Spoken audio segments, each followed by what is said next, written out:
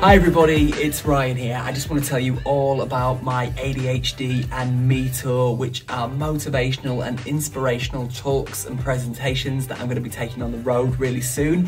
I'm delighted to tell you that today we have finished our final rehearsal, so they are ready to go. So there's a lot of people asking me, why am I doing this? And it's a great question. The reason I am doing this is because I was born with ADHD. I've always had ADHD and into my adulthood, I have developed adult ADHD and I've still got ADHD and I'll probably have ADHD till the day I die. For many years, I've always been an advocate and a supporter of mental health awareness.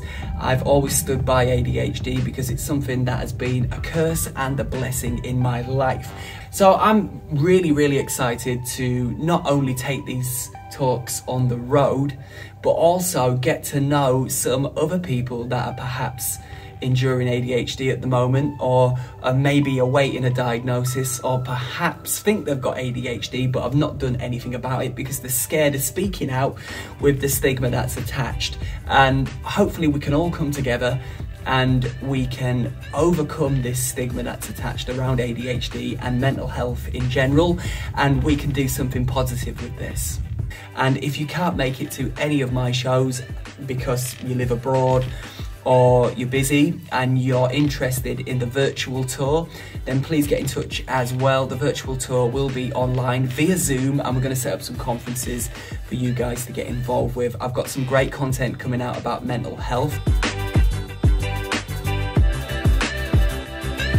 I've been blessed with ADHD. My brother is, he's got autism and we're blessed on this spectrum and we shouldn't be labeling each other. We should just see each other's good qualities and, and use them. And this is what these talks are all about. It's about using what you have in front of you and making something of it and basically using it to your own potential to overcome your fears and achieve your goals and anybody can do that at any age. So I'm going to be taking these talks on the road really soon. If you want any more information about them or you'd like me to come to your school or your college or your university or community group, then please get in touch.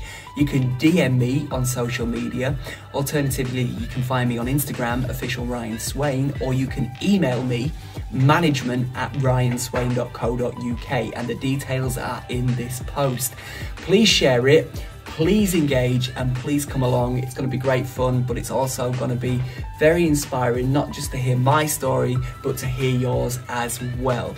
And if you can't make it to any of my shows because you live abroad, or you're busy and you're interested in the virtual tour, then please get in touch as well. The virtual tour will be online via Zoom and we're going to set up some conferences for you guys to get involved with. I've got some great content coming out about mental health.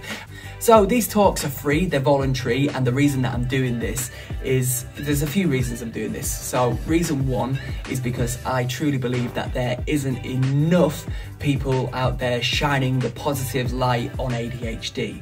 The stigma that's attached with ADHD and the media particularly portray ADHD to be bad. And I'm sick of the stigma that's attached with mental health. So basically these talks are all positive, they're gonna give you help and advice, they're also gonna give you a little bit of education to what ADHD is and how you can handle it better better coping mechanisms. Um, and it's also about achieving. And just because you've been labelled with something like ADHD, a mental health disorder, it doesn't mean to say that you will never achieve your dreams and ambitions. And I just want to wish anybody out there with ADHD right now happy ADHD Awareness Month.